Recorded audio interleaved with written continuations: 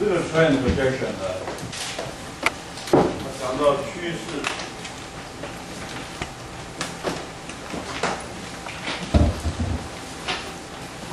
我们这张课文谈的这个趋势的呃时间序列，那么时间序列呢，像我们从这个八百二十四页可以看得到的，八百二十四页上方十七至九那个图啊。这个时间序列显然看到一个发觉，它每隔的四年呢，它就有一个高点啊，那么又再降下来，大概攀升上去，然后到了一个高点又下降，所以它呢事实上呢是有一个高点的。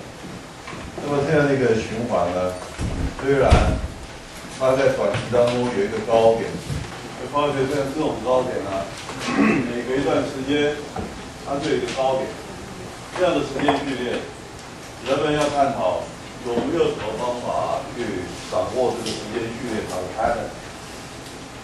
那你在看 pattern 之外呢，你还会发现其实它还有一个特性，就是它有一个长期性的一个趋势。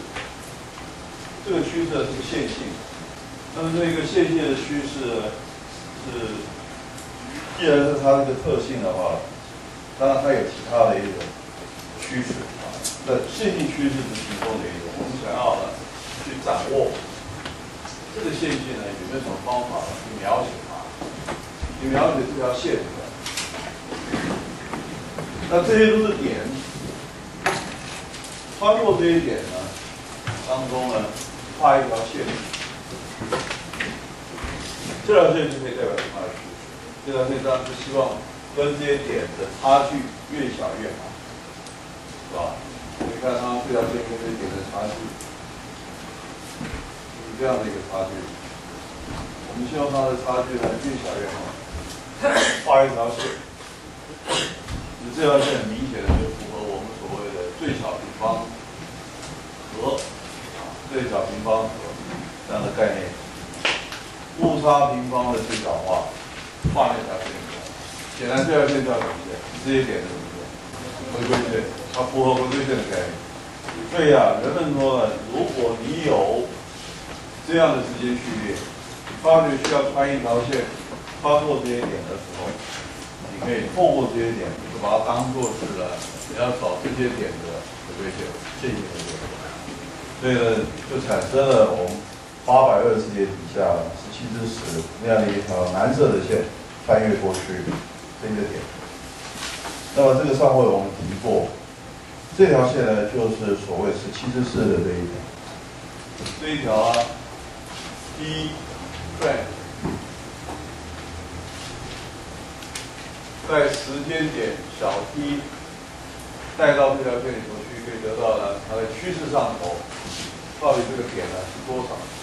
这个是趋势。在时间点 t 的时候呢，这是趋势，趋势线上的点。坐标应该怎么做？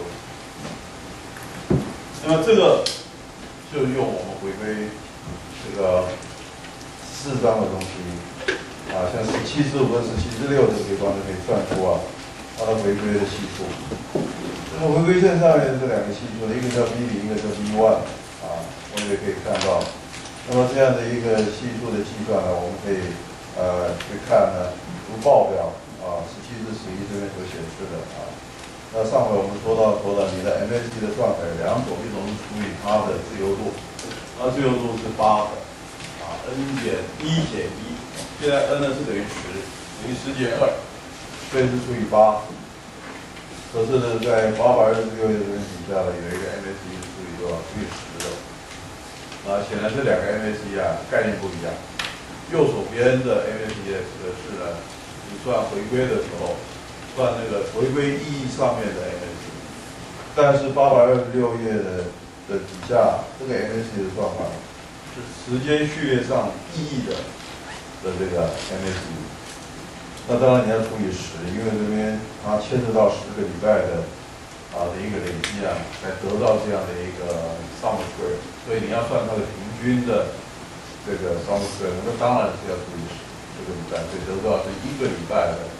啊的一个误差平方和大大概是多少？意义上，我们跟 MAC 回归上面的 MACD 算法是不太一样的。那么这边呢，呃，就讲到这里啊，然后呢，大家翻过来八百二十八页，所以我们就可以呢去帮忙找出一条代表趋势的一条线。那么这条线呢，蓝色的这条线就是一种的线性趋势啊的一条线。那么，所以这样的一个预测方法呢，预测趋势的方法呢，呃，我们把它叫做 linear trend 的规则。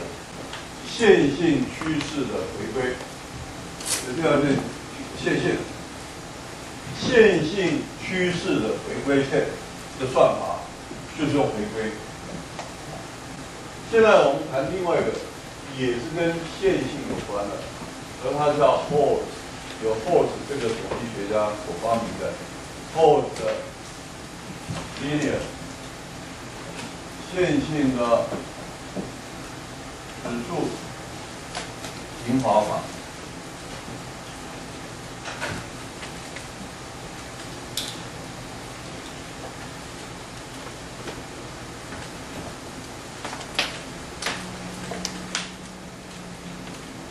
个指数平滑法比我们先前呢上一段所谈的 X 的图形还稍微复杂一些啊，所以可以看一下呢，确实也比较复杂了。八百二十八页底下十七十七到十七十九这三个式。记得呢，我们以前呢，指数平滑法，我们说，你的在 t 加一的时间点上面的预测量，可以用上一个时间点实际的发生量，以及上一个时间点的预测量，拿这两个东西做线性组合，一种加权之下所得到的一个量。这个量呢，可以当做下一个时间点的预测量。所以预测呢，都是用这种方法。那么当然，阿尔法呢是介于零跟一之间的，它是一个权重，一个加权平均。这个方法呢，我们上面都会给各位看。事实上，它不断的推下去，它发觉你每一次算法的时候呢，它一定是拿过去，从现在到过去一开始的点呢，所有的每一个月的时间点呢都放到这里头来。以呢权重越远越小的一种方式呢，把，所有这些历史上过去的资料全部把它组合起来，得到的一个预测量啊，就是这样的一个一个方一个一个概念啊。所以这个概念呢，事实上是符合了所有过去发生的历史资料呢，来做一个加权平均。那么加权平均的这个权重分配非常漂亮的啊，一种指数的一种方式，所以它叫做指数分配法，指数啊。那从这个概念上面呢，这个我们现在这个 host 啊，它也利用这个概念啊，把它说了，呃，我们可以把这个 LP 啊，我们的符号了解，他说 LP 采取的，它提供一个概念叫 LP。LP 是什么？是 level，也就是你的时间序列是在哪一个阶层上面啊？在第七个时间点，那个时间点上面的 level 的算法好了？是你拿在那个时间点上面的实际发生量，以及呢，以及有一个量啊。那么这两者之间的一个权重，后面这个量是什么呢？就是所谓的十七之之七的那个是，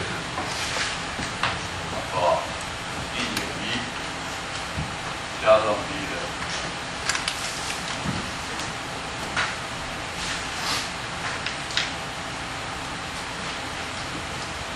这什么意思呢？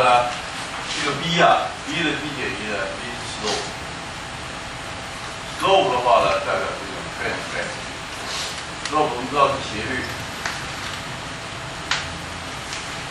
斜率是什么？斜率是这样，斜率事实上表现一种概念，趋势的概念。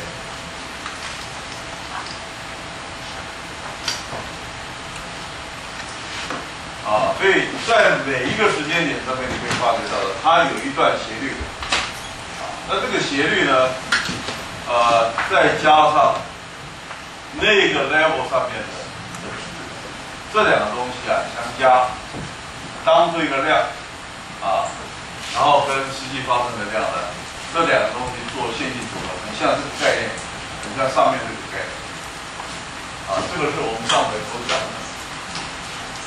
我们这边所讲的是从这边开始，啊，那这个概念呢，再配合他说，因为你这边有个阿尔法跟一减阿尔法，这个阿尔法是所谓的呃 smoothing constant，那至于你这个 v 啊是怎么回事呢？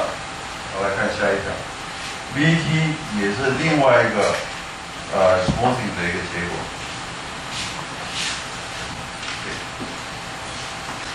好啊，它这个东西啊，因为比较独特的概念啊，呃，先是呃画的图给各位同学看一下。啊，这地方奇怪，因为你画的图错错了，这是 focus，after focus，在第 t 加这个时间点上面的预测量等于呢？在第七个时间点上面的 level，加上呢，透过这样的斜率，乘上 k 时间的长度和累积的一种的增加量，这增加量在原来的 level 之上，所以会得到出了你的 focus。那这个地方是线性的。那至于 vt 呢，是代表 slope，slope 是怎么样累积呢？是透过这样的一个线性组合得到的结果。那 level t 又是怎么样 update 呢？怎么样更新呢？是透过了 yt 是实际发生的量，以及呢，这个量是什么？这个量是 lt 减一加上 v 乘上 t 减一。观察这个地方的概念，是不是乘以一的意思？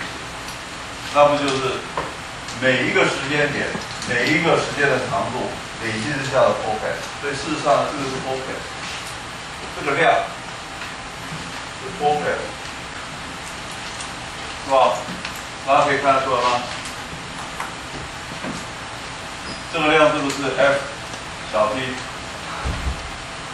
为这个 F 小 t 啊，各位看看是 F 的 t 减一加上 t，t 减一，那就我就带 t 减一加上一了，这就是 L t 减一加上 b 上 t 减一乘上。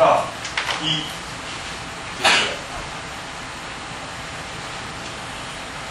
所以它是 F T 啊，那这个 F T 啊，乘上呢，跟 Y T 来做加权平均，就是上面这个概念，就是指数平方法的概念。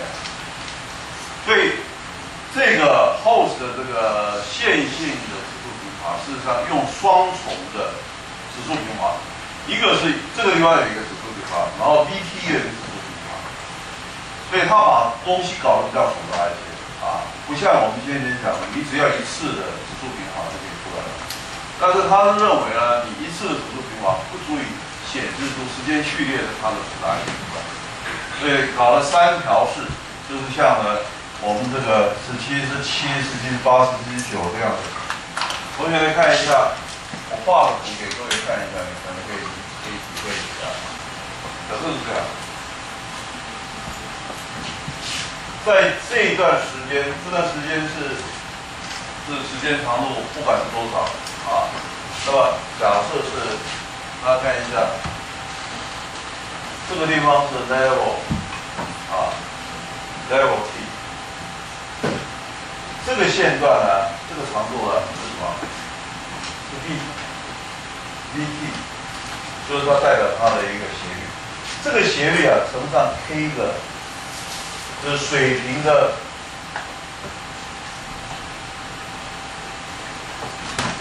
你看，我的时候斜率乘上水平的时间长度，乘上以后斜率乘上了它的水平量的增加，会产生什么东西的增加？垂直分量上的，对不对？所以代表啊。你累积了这么的时间长度以后，到底代表了你的垂直分量到底增加多少？就就这个概念。啊，加上原先所有的所在的地点，L T level，那 level 现在多高啊？这个同学 level 是这么高，level 在这里。然后看看呢，你透过这个 trend 或者这个 slope 的一个增加啊，那带来的多少的那人是在这个地方啊，所以这个地方是什么？这个地方是 forecast，得到预测量。那么得到一个预测量呢，这个地方把它叫 S T，啊，那下一个阶段呢，还有一个什么？还有一段时间，假设这也是 K。所以从这个预测量啊，这个预测量这边，把这个预测量换成为下一个阶段的 L 的 level，再乘上这个阶段什么？这个阶段的，So，所以这边一乘起来，又再得到一个垂直的增加量，所以这个地方又变成下一个 F 的，假设这边是呃 T 加二 K，一个 focus 的量。然后把这个 focus 这样的又换成是 L，啊，然后呢，T 加二 K，再乘上呢某一个时间长度上头，透过斜率的一个增加，就产生下一个阶段的什么一个 focus 出来，然后一样的每个阶段都乘上它的时候带来的垂直分量上头的增加，又乘下一个，所以它透过这样的方式，这种概念呢，很像我们以前。别的地方可能说的叫 piece piece wise，piece wise 就是一段一段的，一段一段的线性。这个地方有一段线性，这边另外一段线性，这边另外一段线性线性。可是呢，它不是，它不是一条线上来的，啊啊，它是一个线段一个线段的一个线性的组合连起来的，所产生的一种时间序列的处理方式。这个注意哦，这个地方你的 trend 在每一个阶段的 trend 是不一样的，所以你看它这边还有 VT，然后呢，在那个阶段时候的 slope 啊，也就你的趋势，要乘上到底走了多少的时间长度，所以累积了多少，加到原来的那个 level 上面，就得到下一个阶段的一个 forecast。OK，那么下一个阶段的 forecast 呢，是在这个地方呢，forecast 在跟实际发生的量又在产生了线性。还是下一个阶段的真正发生量，啊，那每一次呢，每一个阶段的趋势是透过这样的方式去产生新的趋势。新的趋势是什么？就是你在实际发生量上头，在一段时间内，你的时间，你的真正的发生量啊，增加了多少，乘上呢一个所谓的平滑的系数，这是这个是另外一个平滑系数。所以这个题目你必须用到这个架构，必须用到两个平滑系数。所以通过这两个平滑系数，那另外配套这个平滑系数是对 VT、对 slope、对 trend 啊的一个人呃加权平均，我必须要用到。那这个加权平均呢是 level 上面的增加，以及呢你的 slope 上头这两个东西的一种线性组合得到的一个，才叫做 slope 上面的一个。啊，这个更新的方法。啊，同学们注意到，在这样的架构里头有三个概念，一个是 level，实际的和停留的一个位置，还有一个概念是什么？你是以多快的速度产生增增加或者减少啊，slope 就代表 trend。还有一个东西是你透过 level 与 slow 后呢会得到一个预测量。三个东西不断的在做分析变动。所累积出来的一种呢，对时间序列的一种描述，啊，这套系统呢看起来就比较稍微复杂一点，啊啊，课本在这边做的这样的介绍，我把了啊它的图啊稍微画一下这样，希望能够有助于同学对这个概念啊的一个理解。我们看一下这个八百三十页啊，这计算里头呢，它基本上啊。把你的 level one，这个是 by convention，convention 是什么？按惯例，按大家所愿意跟我们接受的一个范围啊，L one 就是把它当做 Y one，然后 by convention 一样的，B one 是什么呢？B one 是 Y two，Y one，这两个东西啊是惯用的。如果这样的话，L one 是多少？L one 是 Y one，所以说的 Y 是多少？二十一点六。B one 是多少？Y two 减 Y one，Y two 减 YY，二十二点九二十一点六多少？所以你把 L one 是吧？二十一点六减一点三，然后我们来算 F1，。你的 F1 按照这个式该是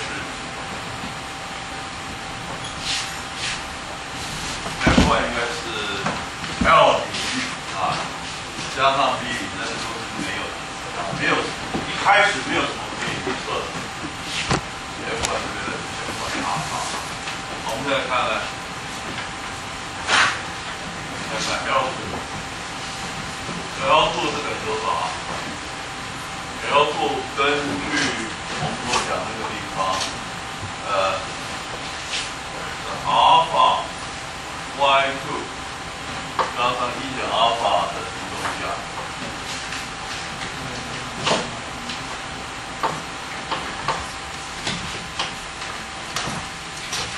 这地方是 F 四。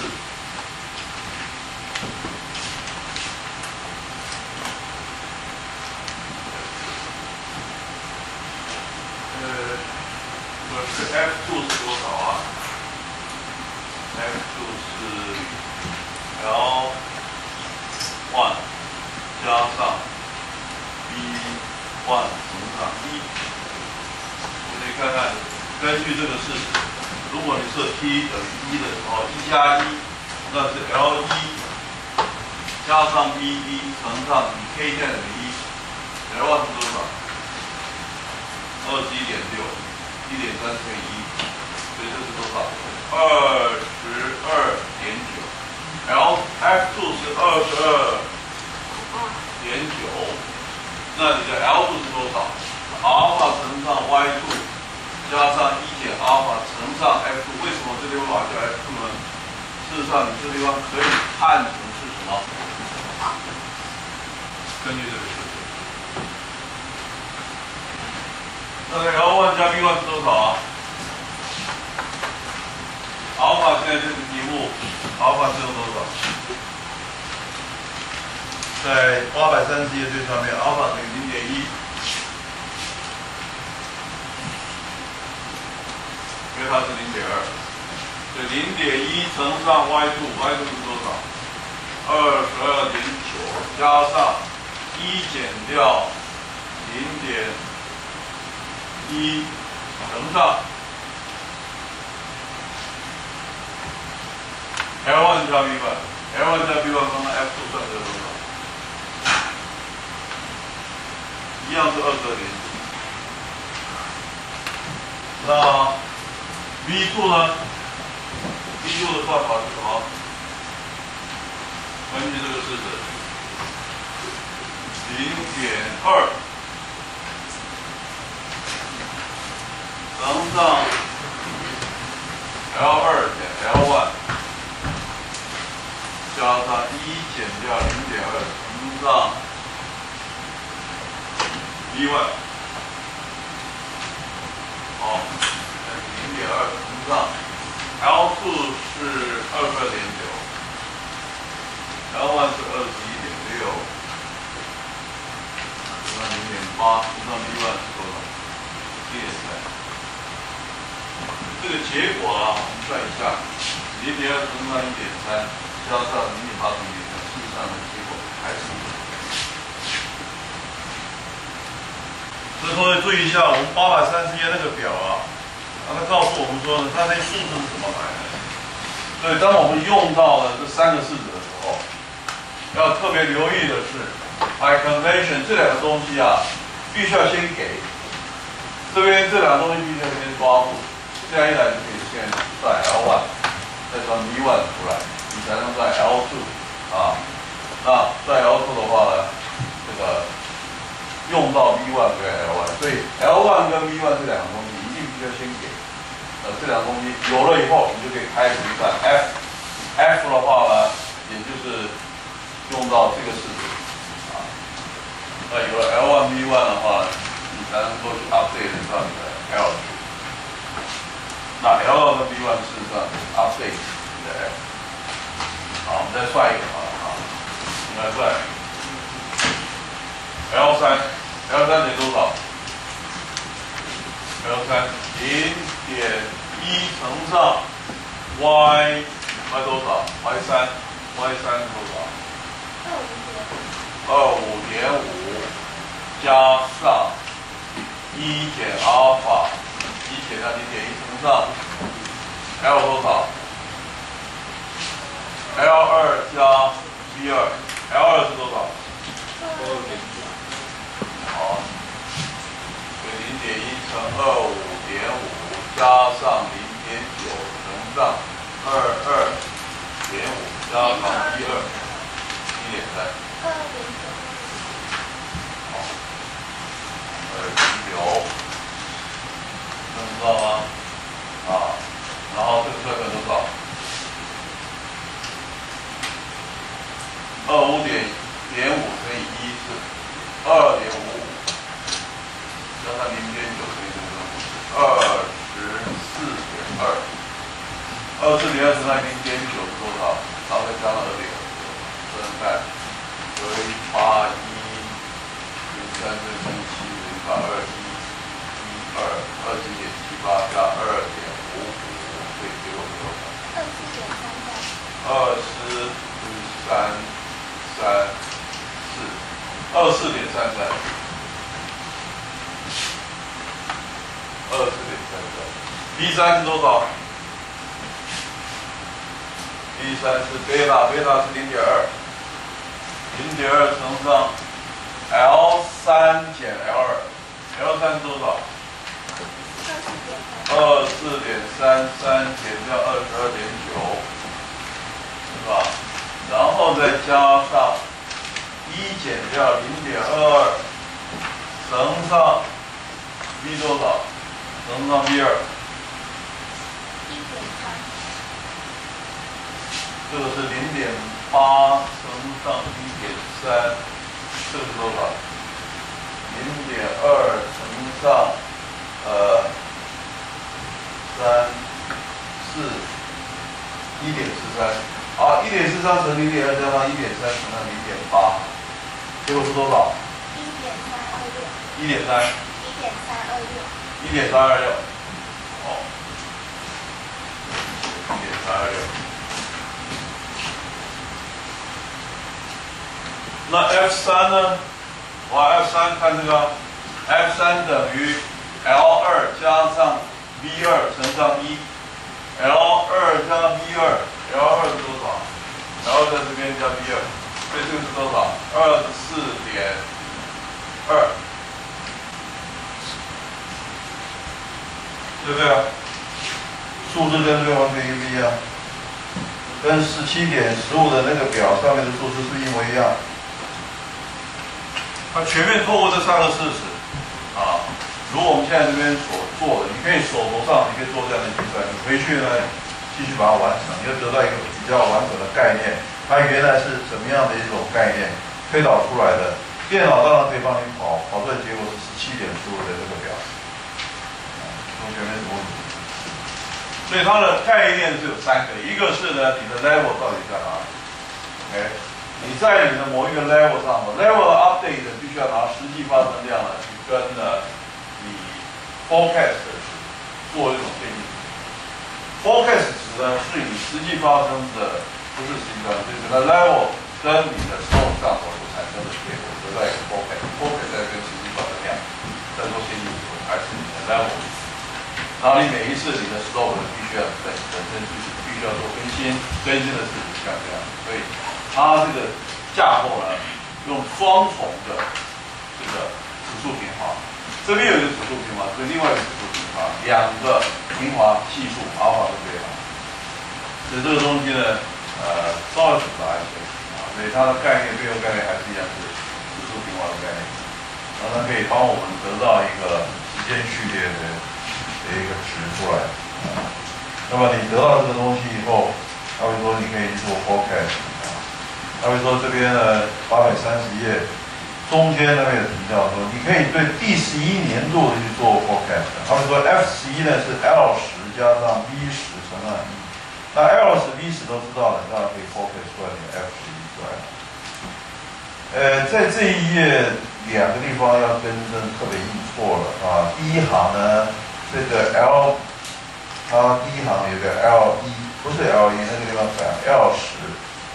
第二行有个 V 一，不是 V 一，是 V 十。所以这两个下标啊要改一下。所以这个这个方法叫做。Pulse 的 linear exponential motion，这个这个东西有点复杂，也没有画图给人家，所以理解上我只能够用刚刚我所画的方式帮各位去体会啊。那么，所以每一次你有一个发生量，实际的发生量，实际发生量再跟你的预测量啊，你的你的 level 跟 slope 上头的一个的一个产生的预测量，实际发生量跟预测量得到下一个阶段的的这个。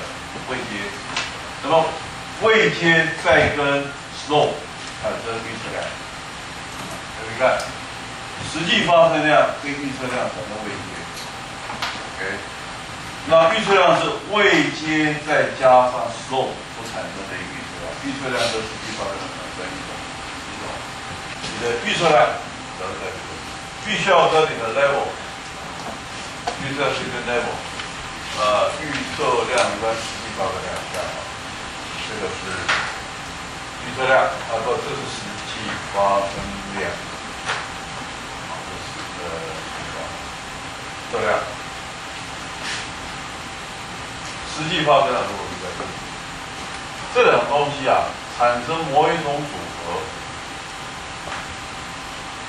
这纯粹是我我的理论体会出来的，这两个东西产生线性组合，最终得到的东西。叫做这，叫什么？就叫位阶。由这两个东西的线性组合产生一个位阶量出来，位阶量再透过 slope 概念呢，得到下一个什么？啊，下一个预测量。下一个预测量再跟呢实际发生量再产生呢，产生一个什么？产生一个位阶，位阶再跟这个呃。斜率又产生了下一个预测量，每一次你的预测量跟呢实际发生量就产生一个一个未接的概念。好，你看啊，对不对？实际发生量跟预测量产生概念，是吧？那未接让它本身呢去 update，可以得到新的呃斜率，然后斜率再跟你的未接产生预测，所以它本身就有一个 smoothing 的概念，一个循环的概念。就每一次这三个东西啊在做变化，看啊，预测量是实际发生量产生的位阶，位阶再透过啊这个 slope 有个趋势产生下一个预测量，下一个预测量再跟什么发生量产生的位阶，位阶再跟跟这个呃趋势又再产生下一个预测量，预测量再跟实际发生量再产生位阶，位阶再跟呃这个斜率再产生下一个预测量。周而复始，那个结构比较复杂，这样啊，计算就像这样，刚刚所讲的这样方式得到一个预算，计算的结果。有什么问题？这是，这也是线性啊。那这样的概念呢，它可以去处理啊非线性的的一种趋势。我们先前讲了你的。先天假如说你的线性的趋势，为什么他可以把它拆开来看？因为事实上你的你的趋势啊，你的趋势不一定是不一定是线性，你的趋势有可能呢是 piecewise linear，或者是它整个的趋势可以看成就是一个曲线。啊，你可以看一下我们这边八百三十页，十七、十三，八百三十一页上面那个图啊。这个图啊，同学看一下这个图啊，你的趋势，你的趋势可以发掘，它可以像这样，它这个曲线，对不对？那这样的趋趋势，红色的这个趋势，你怎么去模拟它呢？方法就是把像刚刚我们所讲的后时那个方法，就是我每一个地方找一个现在，找一个指斗，也就是说，换句话说，我把它整个曲线的一个趋势啊，我硬是把它切割，把它拆开成为一小段一小段的的趋势，每一个小段呢带有的这个斜率啊不一样，所以 piece 一一小段一小段的。线性符合它连接性，可以产生一种的，可以去作为任何的啊非线性的趋势，去产生一种连接，代表一种趋势的表达方法。啊，明明明明是非线性的，硬是把它拆开成一小段一小段的话，透过刚刚的这三个式子，可以对任何的非线性的趋势的直接序列做一些预测的架构，产生一笔测。这是它这个方法背后的基本精神。那对于非线性的一种啊时间序列啊，我们这边的几节谈呢，事实上你可以用啊八百三十一页那个东西，你可以直接的就假设说它是一个抛物线，这是另外一个方法了。然后你也直接的方法就是说它的架构是这样。OK。哎，这个这个这个什么？这是一个一元二次式的一个一个简单的式子。一元二次的一个式子呢，它画出来的形状啊，我们高中数学学过了，它有哪些形状的一个？对，二次式，二次式有哪些？抛物线，还有呢，椭圆是吧？还有什么？圆形、双曲线。啊，把它二次的话，你看这这样的一个形状，像这样形状，如果用这种式表示呢，它很显然是一个呃抛物线的一种形式啊，或者其他的更广泛的像二二线式、二向式的一些架构。这个二次式的这个式子，呃，二次式在英文上呢，呃，二次是专门呢有一个处理的。基本就是叫 quadratic，quadratic，quadratic 就是二次式。把你的趋势呢用二次式的一个函数形态来表达它，给它特别叫 quadratic trend，就是二次式的趋势线。把你的趋势用二次式去模拟它，啊，那模拟的方法就是给一个式子像十七只。也就是我现在写在白板上的这个，这个式子这样一来的话呢，有没有办法去找出 v 零、v 1跟 v two 这三个值出来？如果你能找出这三个系数出来的话，那个题目就听懂了，是吧？你就已经得到你二次式的的形式啊，它的数数字啊，你的函数形态基本上你可以掌握住。但是这边呢，他提了一个概念，同学比较呃。也刚学过了，就是说，我可不可以把这个平方向，把这个平方向重新，我可以这样写，我把 t 平方啊，t 平方定它叫 t 度然后把 t 呢就叫 t one，那 b 你不要动的话，这个式子实际上可以改写成为一种线性，本来不是线性，现在可以改写以后变成。然后把它相应的数据，相应的数据是什么？t 的数据，z one 的数据，z two 的数据，啊，它是多少？每一次算 t z two 的时候，就是把 t 平方换算过去；每一次算 z one 就把 t 换算过去。啊，它相对应的 t 多少？我把所有这些数据表出来以后，变成一个 table，把这个 data set，如同各位同学，你看一下八百三十页。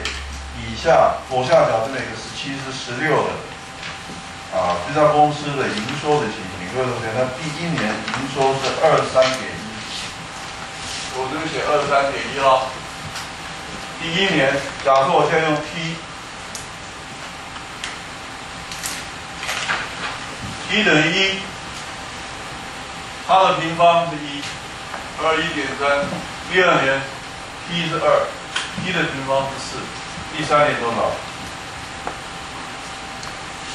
二七点四，第三年我就写三，三的平方就变成九了，其他以此类推，全部一共多少年呢？十个年度，最后一个年度的营收是九十九点三的话呢，这边就是十，十个年度，那这边是一百了。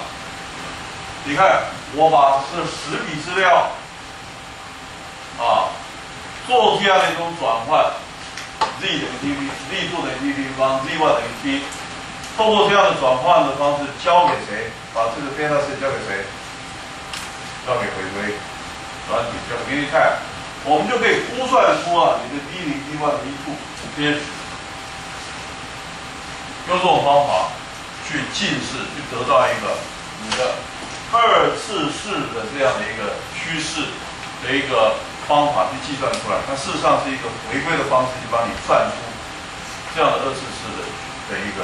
函数的前面的系数应该是等于多少？你看啊，它最后的得到的一个呃回归式是八百三十页底下十七十四那个报表里头，revenue 等于就是你的你的大 T 啊，等于二十四点二减掉二点一一 year 年，加上零点九二二年的平方啊，如果是报表十七十四这个报表就得到的结果是，一样可以得到一个。呃，这样的一个回归，那你再把它，再把这个东西这个值把它换回来，对，最后它的值应该是多少？应该是二十四点二，二四点二 one 是减二点一一，减二点一一乘上 t。加上零点九二二年的平方，好，你最后这个式子可以变成这样。所以这个数据是怎么来的？这个数据是拿过去十年去去用回归去算出来的。这个式子也是一个二十四啊，那这二十四的系数可以透过回归得到，但是回归都是含线性的，所以你可以把它的平方向换成一个新的一。的一个变数，全部就把它当做一个线性，那交给回归，可以得到一个回归式，